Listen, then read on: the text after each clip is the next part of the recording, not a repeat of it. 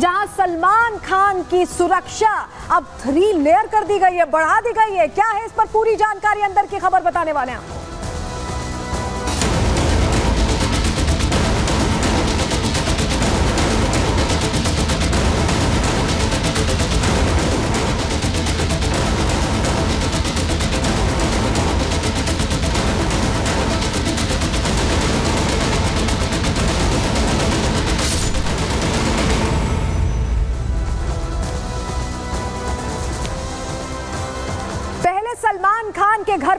Firing की खबरें, तस्वीरें सामने आई, आरोपी पकड़े गए और उसके बाद सलमान खान के जिगरी, बाबा सिद्दीकी की सरेआम हत्या कर दी गई। इस घटना के बाद सुरक्षा घेरा। अब और पुख्ता किया गया है सलमान खान के आसपास, क्योंकि कहीं ना कहीं वो टारगेट लिस्ट में शामिल हैं लॉरेंस बिश्नोई गैंग के। और ये सब कुछ ऑपरेट हो रहा है अमेरिका और कनाडा से।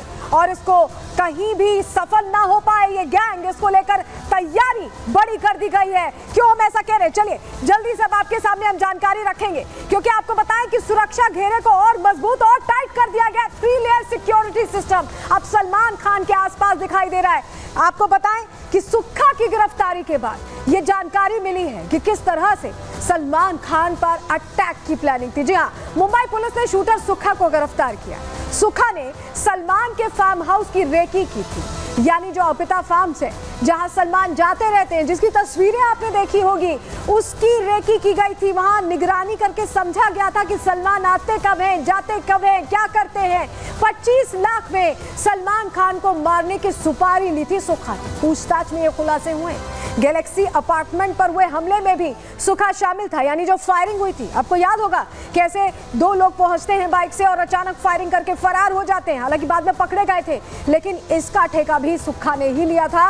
18 अक्टूबर को सुखा को कोर्ट में पेश किया गया और कोर्ट ने चार दिन की पुलिस कस्टडी में उसे भेज दिया। अब पुलिस पूछताछ करेगी। पुलिस की पूछताछ में सुखा ने कई बड़े खुलासे किए हैं।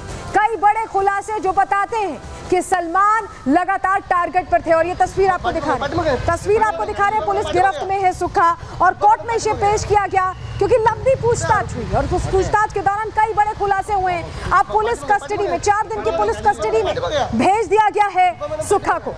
तस्वीर आपको कल की दिखा रहे जब पुलिस कस्टडी में भेज दिया गया है क्योंकि बहुत बड़े खुलासे हुए आप सोचिए लॉरेंस बिश्नोई गैंग से कनेक्शन सामने आ चुका है। पा- पाठीमागे. पाठीमागे शिल्पा मॅडम शिल्पा मॅडम पाठीमागे या. शिल्पा मॅडम पाठीमागे या. तो सलमान खान टारगेट थे. कैसे टारगेट थे? आपको एक एक चीज़ बताने जा रहे हैं क्योंकि चार्जशीट में कई खुलासे हुए आपको बताएँ किस तरह से एक एक जानकारी जो सुखा से मिली है बताती है कि सलमान को मारने का प्लान था। बता रहे हैं आपको सलमान खान पर 70 लोग ग्राफिक्स बदलेंगे सलमान पर 70 लोगों ने नज़र रखी हुई। सत्तर लोग, आप संख्या देख रहे हैं, यानी सलमान कहाँ जाते थे, कहाँ आते थे, हर मूवमेंट पर नज़र थी, हर चीज़ पर पैनी निगाहें थी, उसकी डिटेल बनाई जा रही थी। गैलेक्सी अपार्टमेंट हो, या पनवेल का उनका फार्म हाउस हो, हर जगह रडार पर थी। सत्तर लोगों को डिवाइड किया गया था कि आप यहाँ रहिए यहाँ रहिए यहाँ रहिए। रेकी करिए कहाँ जा रहे हैं सलमान खान? गोरेगांव फ़िल्म सिटी, जहाँ पर शूटिंग के लिए जाते हैं सलमान, उस पर भी नज़र रखी जा रही थी। अंदर खाने बड़ी जानकारी हमें मिली है।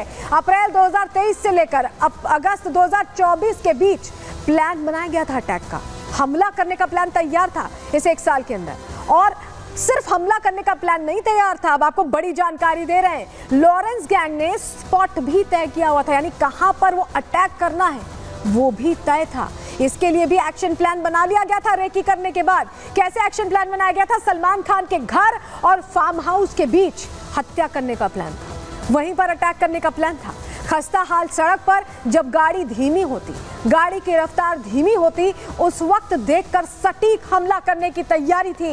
ये हमें जानकारी मिली है। उस चार्जशीट थे और इसी जगह पर घात लगाकर शूटर्स तैनात रहते। जैसे ही सलमान खान की गाड़ी आप सीन देख रहे हैं। जैसे ही खस्ता हाल सड़क के पास गाड़ी पहुँचती स्लो होती, गाड़ी की स्पीड कम होती, उसी वक्त ये घात लगाए बैठे शूटर्स हमला कर देते और निशाना बनाते सलमान खान को। तैयारी यही थी लेकिन जब पूछताछ हुई तो पूछताछ में नई नई जानकारियाँ मिली। ऐसी जानकारियाँ जो चौंकाती जो बताती हैं कि तैयारी कितने लंबे समय से की जा रही थी। समझिए आप पानीपत से सुखा की गिरफ्तारी के बाद ये बड़े खुलासे हुए बड़ी जानकारियाँ मिली। शूटर अजय कश्यप को सुखा ने ज़िम्मेदारी दी थी। ज़िम्मेदारी किस बात की दी थी? अटैक करने की ज़िम्मेदारी थी, थी। हत्या की साजिश में चार लोग शामिल थे। जिनको आइडेंटिफाई अब कर लिया गया है। कश्यप और उसकी टीम ने मुंबई में रेकी की थी, सारी जानकारियाँ जुटाई थी, सलमान खान से जुड़ी हुई। रेकी के दौरान सलमान की कड़ी सुरक्षा का उन्हें पता चला। उन्हें पता चला कि सलमान खान के आसपास सुरक्षा घेरा मज़बूत है। बुलेट प्रूफ गाड़ियों की वजह से उस वक्त जो प्लान उन्होंने बनाया था, वो उस हत्या को वो अंजाम नहीं दे पाए। प्लान को अंजाम देना मुश्किल था। ये उन्हें महसूस हुआ जब उन्होंने एक एक चीज़ को रेकी करके समझने के बाद देखा। लेकिन इसके बाद इसके बाद कैसे? जब उन्हें यह समझ में आ गया कि सुरक्षा घेरा बहुत मज़बूत है बुलेट प्रूफ गाड़ी है, जो हथियार उनके पास है, वो नाकाफी है, उसके बाद प्लान में चेंज किया गया। क्या चेंज किया गया? आपको बता रहे पाकिस्तान कनेक्शन इसके बाद सामने आया क्योंकि पाकिस्तान से और हाई इंटेंसिटी के हथियार मंगाने की तैयारी थी। क्योंकि जो हथियार उनके पास थे, वो नाकाफी थे। सुखा वीडियो कॉन्फ्रेंसिंग के ज़रिए, तस्करों के संपर्क में था। उनसे बात कर रहा था, हथियार मंगाने की तैयारी कर रहा था। पाकिस्तान का जो गैंगस्टर है, डोगर, उससे हथियार मंगाने की तैयारी थी, वो हथियार भारत भेज देता। पुलिस को सुखा के फ़ोन से डील की एक क्लिप भी मिली है, एक बातचीत भी मिली है, और सुखा के साथ डोगर, अनमोल विश्नोई, लॉरेंस बिश्नोई का भाई और सप्लायर तीनों जुड़े हुए थे। यानी तीनों में बात होती थी, चर्चा होती थी कि कैसे हथियार को ले आना है। इस वीडियो क्लिप में मशीन गन दिखाई जा रही थी। यानी जो हथियार भेजे जाने थे पाकिस्तान से, जैसे आप ये देख रहे हैं, ये ये जो, जिस तरह से हथियार यहाँ पर भरे हुए यही वो हथियार थे जो भेजे जाने थे। आपको बता देते हैं कौन कौन से हैं। ये ए के सैंतालीस मंगाई गई, एम सिक्सटीन मंगाई गई ए के बयानवे मंगाई गई, जिगाना मंगाई गई थी और मशीन गन। मशीन गन मंगाई गई थी और ये पाकिस्तान से सब कुछ मंगाया जा रहा था। इस वीडियो क्लिप में मशीन गन भी दिखाई दी है। आपको बताएँ कि पाकिस्तान में बैठा डोगर हथियार पहुंचाता है। उसका ये काम है। और खुफिया रास्तों से भारत आने वाले थे ये हथियार, जो मंगाए गए थे सुखा की तरफ़ से, अटैक करने के लिए सलमान पर। तस्करी के लिए ट्रक का इस्तेमाल करने वाला था। ये डोगर जो है, पाकिस्तान का जो आतंकी है और कश्मीर कच्छ भुज नेपाल के रास्ते भारत आने की तैयारी थी इन हथियारों की। और इन्हीं हथियारों से, इन्हीं हथियारों से उस सुरक्षा घेरने को, घेरे को तोड़ने की तैयारी थी जो सलमान के आसपास है। जब ये महसूस हुआ कि सुरक्षा घेरा कड़ा है, उनके हथियार काम नहीं कर पाएँगे तो इसके लिए हथियार भी अरेंज कराए जा रहे थे। यानी तैयारी बड़ी थी प्लान बड़ा था, लेकिन इस पूरी साजिश को डिकोड कर लिया गया है। रिपोर्ट आपको दिखा रहे हैं।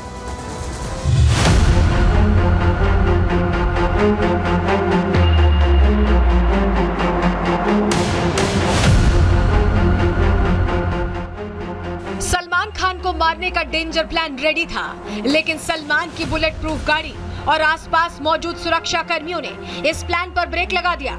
सलमान की टाइट सिक्योरिटी देखकर शूटर इस प्लान को अंजाम नहीं दे पाए। और इसे नए सिरे से अंजाम देने की कोशिश में जुट गए।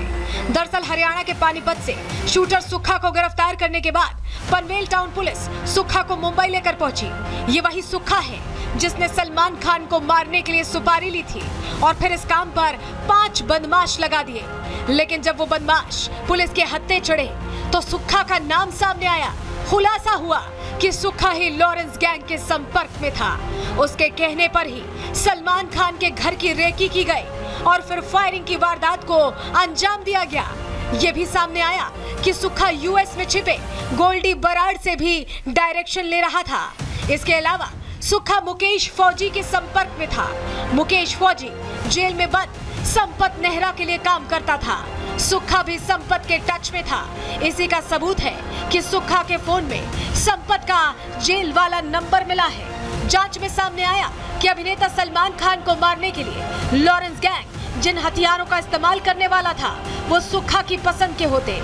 टाइट सिक्योरिटी की वजह से हाई क्वालिटी के हथियारों की ज़रूरत थी। ऐसे में सुखा की ही पसंद के पाकिस्तान से मंगाए जाने वाले हथियार शूटर्स को मुहैया कराए जाने थे।